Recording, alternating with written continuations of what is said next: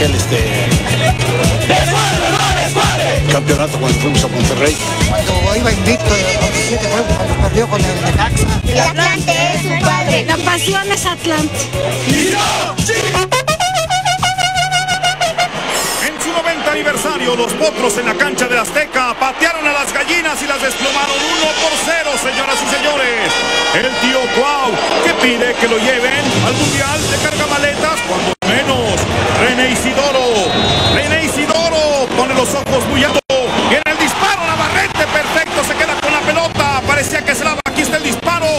Y ven ustedes el desvío con la rodilla. Y Navarrete que se queda con el esférico.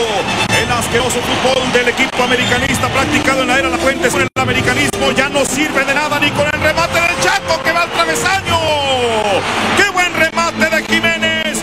Y Milar, mucha vista, era Alcobía y para Milar. Una liendre le picó al piojo y por eso falló. El Cuau, el tío Cuau, ¿qué le duele?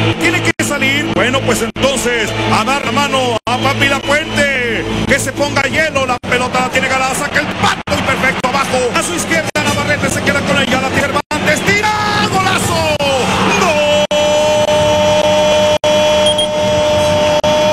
Horacio Javier Cervantes Chávez al 69 mete segundo del clausura y su sexto de su carrera. Clever, ¿también te sientes técnico?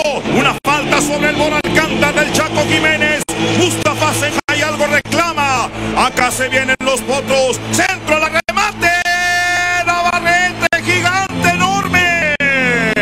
Y el equipo del pueblo, los potros de hierro, como dijo José Alfredo, festejan su 90 aniversario alejados del bulliz de la falsa sociedad de los sueños de la América.